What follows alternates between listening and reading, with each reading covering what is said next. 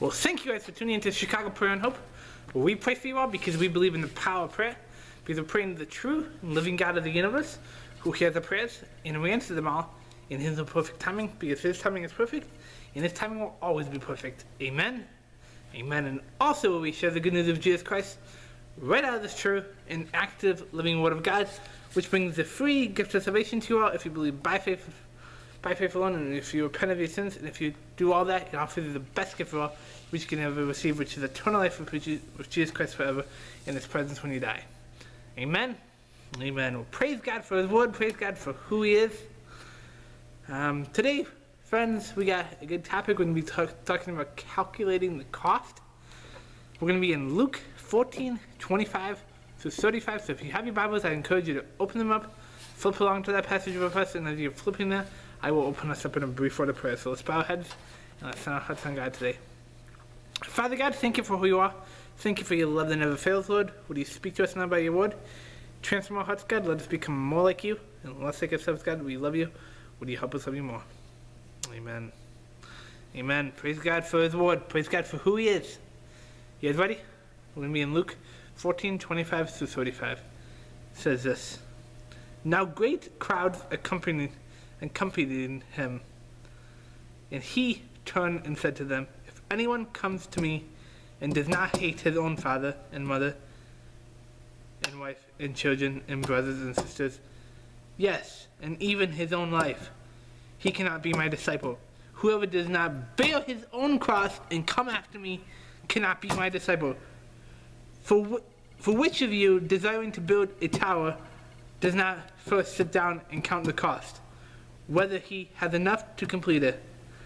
Otherwise, when he has laid a foundation and is not able to finish, all who see it begin to mock him. Verse 30, saying this man began to build and was not able to finish. Or what king going out to encounter another king in war will not sit down first and deliberate whether he is able with 10,000 to meet him, who come meet him, who comes against him with 20,000, and if not, while the other is yet a great way off, he sends a delegation and asks for terms of peace. So therefore, any one of you, any one of you, who does not renounce all that he has, all, that he has cannot be my disciple. We announce all that he has cannot be my disciple. Verse 34 Salt is good, but if salt has lost its taste, how shall its saltiness be restored? Verse 35 It is of no use either for the soil or for the manure, manure pile.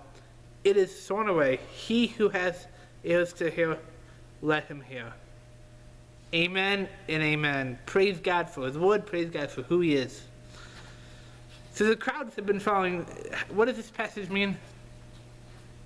And what is it talking about? It says the crowds have been following Jesus out of curiosity to hear his teachings and to witness his, his, the healings. Yet, Jesus warned them in the scripture above that if they truly want wanted to follow him, they must consider the cost. Not only was it not a free ride, it would actually cost them everything, everything. It would cost them everything. He asked them to love him beyond all others, even their own family members. Amen. In wrapping up today, I would like to ask you, brothers and sisters, to ask to ask the Holy Spirit to show you your level of commitment to the Lord, your amount of love for Him, and your willingness to follow Him anywhere, anywhere, anywhere, anywhere. Let me ask you a couple questions. Just a few brief questions. If I can flip the page.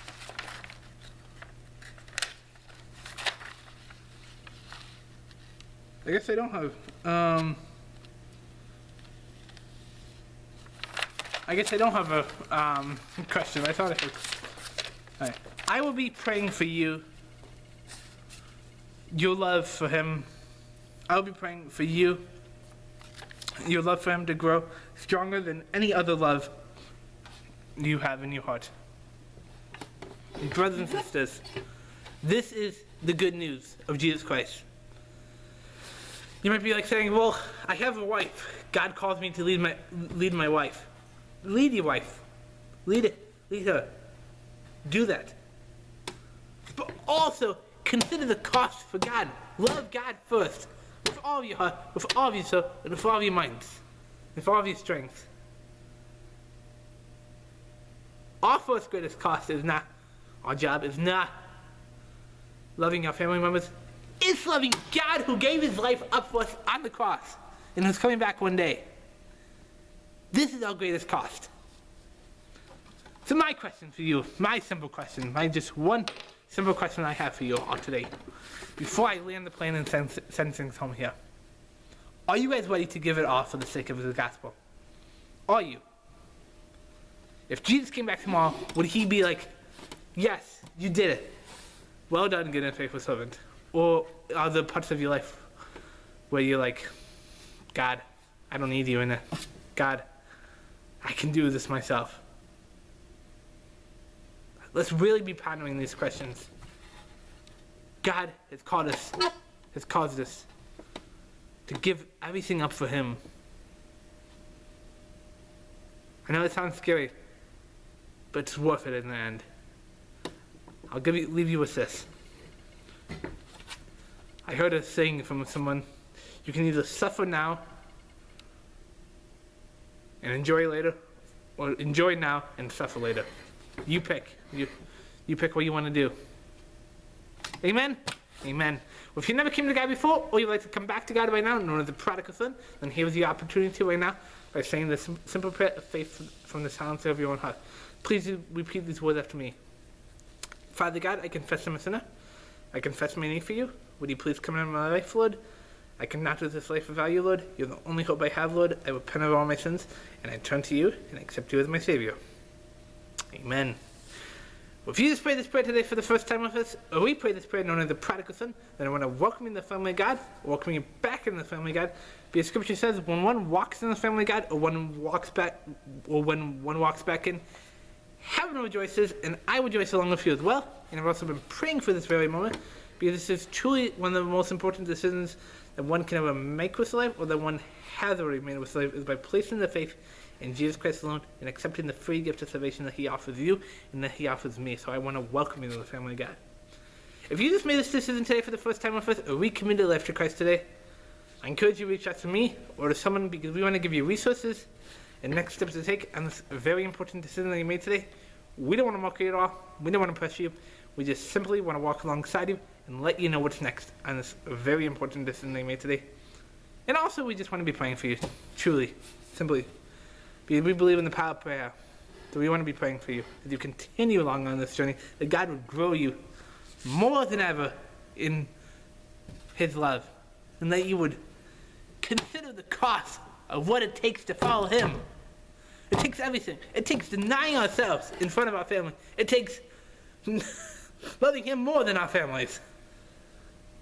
This is the gospel. This is the good news. Amen? Amen. Well, can I bless you all today before I send you all on your way?